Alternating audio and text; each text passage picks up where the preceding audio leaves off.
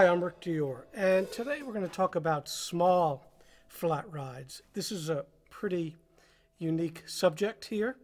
Not a lot of you have small flat rides out there. I know a lot of you have flat rides, uh, and I know that from all the email that I get about them. So I thought I'd put some of these up. I don't know if I've ever shown all of these together, my smaller ones. Uh, right here I have a Sound Creation Paiste 16-inch dark flat ride. I've never seen another one of these, but uh, maybe one of you out there has one, and you can tell us about it. And then we have the famous 16-inch Paiste 602 from the uh, late 60s, very famous cymbal. We'll talk about that in a minute. And of course, we have the cymbal I use lots, an 18-inch Paiste traditional flat ride with a few rivets. And this cymbal is from the 2000s. They don't make these anymore. Well, they don't make any of them anymore, but you can find them used. I see them from time to time for sale. And I have just a pair of regular old hand-hammered hi-hats, uh, Sabians I'm using here. These are 13s. So we'll be playing a little with these cymbals. I'll tell you a little about them. First things first, this cymbal here is very well known because of one guy, and that guy's name is Roy Haynes, probably uh, the greatest jazz drummer of all time, in my opinion. He's still with us. I don't know how old he is now, but knocking on 97 probably. Just incredible musician. I've done several videos about him, so you could look for those, but he's one of my heroes. But anyway, he used this cymbal, this is not this exact cymbal, but one just like it uh, on the Chick Corea record, Now He Sings, Now He Sobs, uh, the classic jazz record. So uh, after that record, he gave this cymbal to Chick Corea, who uh, was also a drummer, if you didn't know that already. And then Chick Corea would have his musicians or his drummers play it. First guy was Airto, who played it on some Return to Forever records, the most notable, notable one being uh, Light as a Feather, uh, if you can hear this cymbal on that. And then, of course, Later on, he gave it to Barry Altschul uh, for Circle with Dave Holland, Chick, and Barry. Uh, some of that kind of avant garde jazz, great stuff. And then after that, you might have heard Adam Cruz play it. And after that, uh, Jeff Ballard play it with Origin. So that cymbal that he has, he's pretty much kind of the band leader like uh, Dizzy Gillespie, who would have a cymbal, like Dizzy had this old cracked China. I remember seeing Robby Ameen play it at um, at a jazz concert in New York years and years ago. Sting was really in bad shape, and Dizzy would have his drummers play this thing. And of course, Maynard Ferguson had a giant ride cymbal, as did Stan Kenton, and he had his drummers play that. So it goes on and on throughout history of band leaders who had particular cymbals they wanted their drummers to play uh, because of familiarity or uh, obviously because they just liked this cymbal. So this is one of those cymbals, this Paiste 602.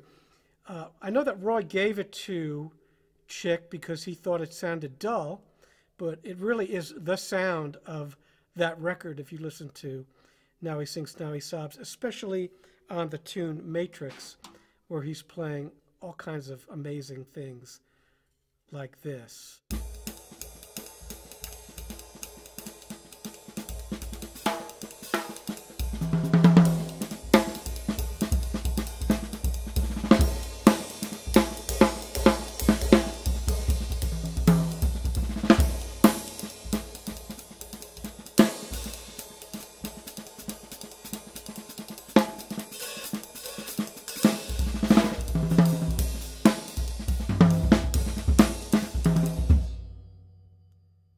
Know that's a poor Roy Haynes imitation, but that is the sound. And as soon as you start playing that thing, you're kind of living it. Now, for years, I hunted for a cymbal like this. The first time I heard that record when I was a kid, I was so blown away. It didn't leave my turntable for two months. And then I had to buy another copy because I literally wore it out. It remains one of my favorite records. And if you don't have that, I definitely suggest if you're into jazz or any great drumming, go out and buy that one. So that is the sound. And of course, if you listen to Light as a Feather, when you hear those really fast Brazilian samba patterns. Uh,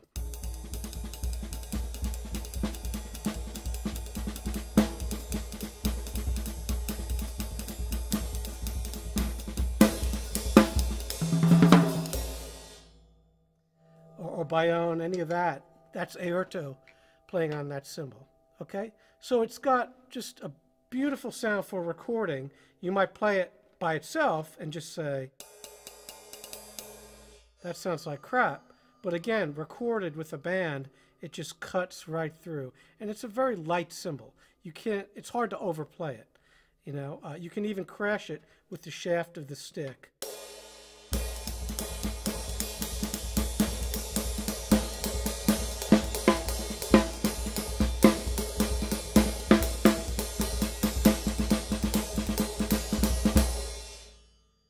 Now you could do that with all flat rides.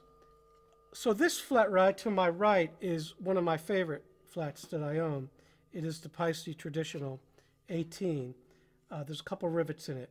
It's just a beautiful warm cymbal, a lot warmer and has a bit more character than this 602.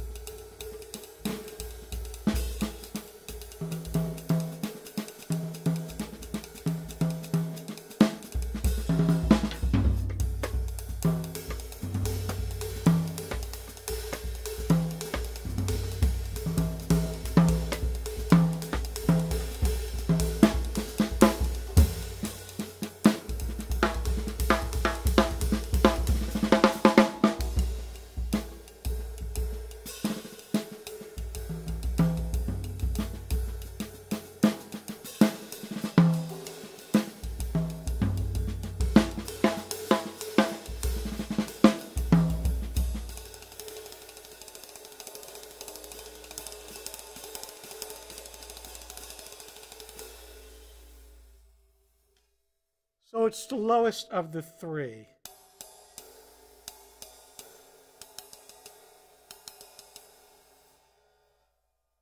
And I like these three cymbals in this configuration because of that. Now on my left we have this Sound Creation uh, dark flat ride. I'll tighten this up a little here. This cymbal is very heavy. Uh, not the best cymbal if you play it by itself for sure. When you're talking about a 16 inch flat rod, you're talking about a really kind of, uh, you know, uh, cymbal that's, again, unique, but it's a genre cymbal, you know, ECM kind of stuff.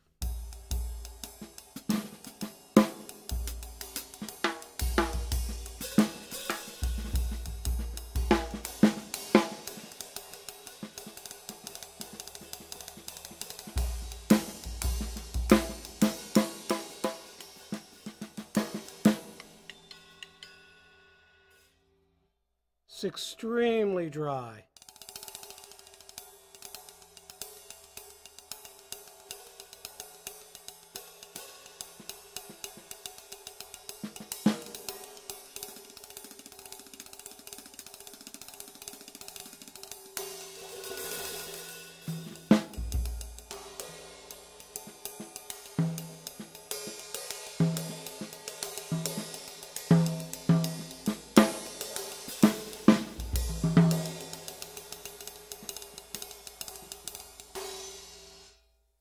So if you're in a band that plays a lot of Pat Metheny kind of stuff, that might be a good cymbal for you.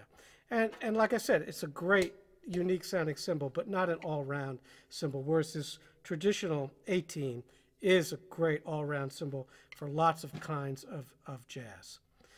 Uh, so I just wanted to give you a, a, taste of these and especially show you, like I said, this Paiste 602 which is just a, a really special cymbal. Now, if you watch my flat rides video, the original one I did, I show you lots. I have probably a dozen different flat rides. And that, that's where I show you my 20s and maybe even a 22 that I have.